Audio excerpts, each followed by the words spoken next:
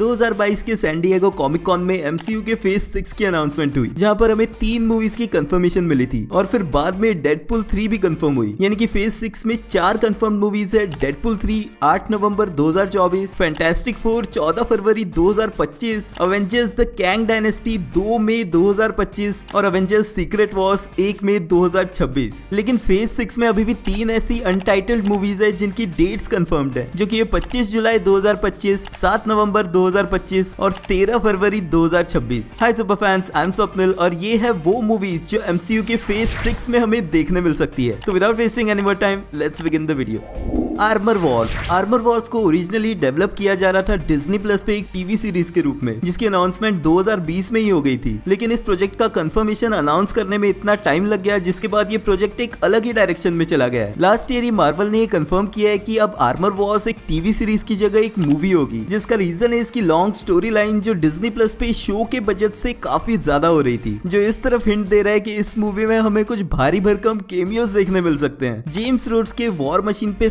Scented ये movie Tony Stark के armours और टेक्नोलॉजी का फ्यूचर दिखाएगी। मार्वल कॉमिक्स में ये सीरीज़ काफ़ी पॉपुलर रही क्योंकि इसका लीड था आयरन मैन और एमसीयू में भी अगर आयरन मैन की वापसी होती है तो वो सीक्रेट वॉर्स से पहले इसी मूवी आर्मर वॉर्स में होनी चाहिए। अगर इस साल के एंड तक मूवी का प्रोडक्शन शुरू होता है तो आर्मर वॉर्स हमें साल 2025 में फ़ेज़ सिक्स की एक मूवी के रूप में देखने मिल सकती है। शैंगची टू फ़ेज़ सिक्स की एक और मूवी हो सकती है Shang Chi and the legend of ten rings का सीक्वल जिसकी अनाउंसमेंट 2021 में मूवी रिलीज़ होने के फ़ौरन बाद ही कर दी गई थी। इस मूवी के कई सारे टाइटल्स ऑलरेडी रूमर्ड चल रहे हैं, जैसे कि Shang Chi and the legend of Iron Fist और Shang Chi and the midnight sun लेकिन एक पॉसिबिलिटी है कि शैंगची के सीक्वल का नाम हो सकता है Shang Chi and the wreckage of time अब यहाँ पे सीन ऐसा है कि शैंगची के सीक्वल के लिए डायरेक्टर के रूप में डेस्टिन डैनियल को ही सिलेक्ट किया गया है, जिन्होंने शैंगची का फ़र्स्ट पार्ट डायरेक्ट किया था। लेकिन साथ ही Avenger Avengers the Kang Dynasty जो दो मई 2025 को रिलीज़ होगी, उसके डायरेक्टर भी डेस्टिन डेनियल ही है। तो ऐसे में या तो शैंगची टू के लिए एक न्यू डायरेक्टर लाना पड़ेगा, या फिर ये मूवी फ़ेज़ सिक्स में रिलीज़ नहीं हो पाएगी।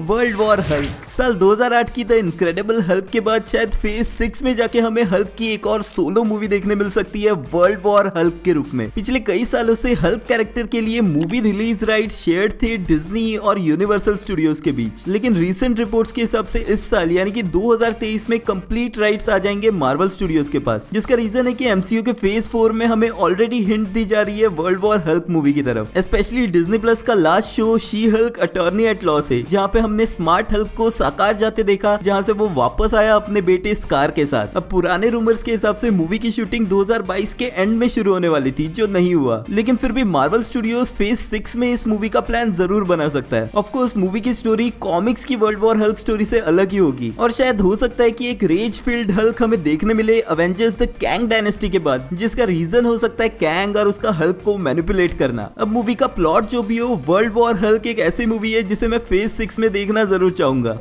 स्पाइडरमैन 4 एमसीयू में फ़ेज़ सिक्स की एक और मूवी हो सकती है स्पाइडरमैन का fourth part Spiderman no way home की एक्सट्रीम सक्सेस के बाद सोनी और मार्वल दोनों ही चाहेंगे उस चीज़ को रिपीट करना. सोनी की तरफ़ से प्रोड्यूसर एमी पास्कल ने ऑलरेडी अनाउंस कर दिया है कि टॉम हॉलैंड के स्पाइडरमैन के साथ वो तीन और मूवीज़ बनाएँगे. लेकिन मार्वल स्टूडियोज ने कोई भी ऑफिशियल कंफर्मेशन नहीं दिया है, क्योंकि स्पाइडरमैन से रिलेटेड मूवीज़ सोनी की तरफ़ से ही अनाउंस होती है. इनफैक्ट एमसीयू के पिछले फेजेस में स्पाइडरमैन की मूवीज़ ने मार्वल की दूसरी अनाउंस मूवीज़ की डेट्स छीन ली थी। तो ऐसे में फ़ेज़ सिक्स की कोई और मूवी रिप्लेस करके भी स्पाइडरमैन का फोर्थ पार्ट आ सकता है। अब रूमर्स के हिसाब से स्पाइडरमैन फोर में स्ट्रीट लेवल कैरेक्टर्स दिखेंगे, जैसे कि डेयर डेविल और विलन के रूप में किंग पिन तो नोवे होम की इवेंट्स के बाद पीटर पार्कर का कैरेक्टर जिसे एमसीयू यूनिवर्स के सभी लोग भूल चुके हैं, वो फिर से अपनी सुपर हीरो इमेज कैसे सेट करता है, वो देखना काफ़ी इंटरेस्टिंग होगा।